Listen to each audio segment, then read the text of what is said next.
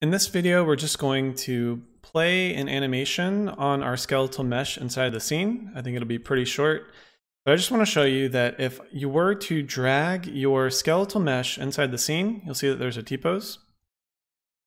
Let's do it over here. On your skeletal mesh, it's the pink one that you drag in. If you were to look over here and scroll down, or actually it's at the top, under animation, where it says use animation blueprint, I'm just going to put that on use animation asset.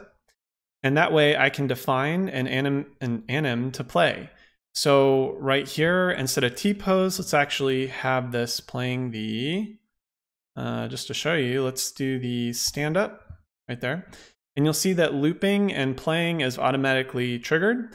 I probably don't want this to loop if he's standing up, but if this were an idle, I or, or some sort of looped um, animation meant to repeat, you may want to keep that. Now, if I hit playing right here, it's going to play on start. So what that means, if I hit play, you'll see how he's getting up. All right, then it should freeze.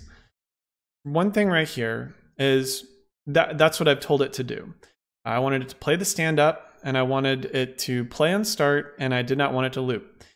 And I want to show you another example over here. Um, I'm realizing that I did not import the idle animation. So I think as practice, you should go back into Mixamo. Uh, nope, not that one. You should go back into Mixamo and get an idle animation and then re-import that just like we did the other one.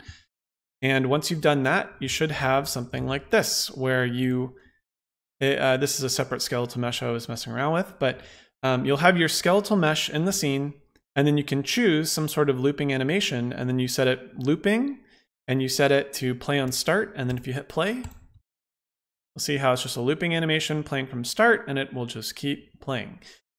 So depending on what you want to do, uh, you could have your character just have a looping idle or some sort of looping thing to make it feel like it is alive and standing in the world. And then next, we'll talk about how to change their animation based off of some sort of trigger.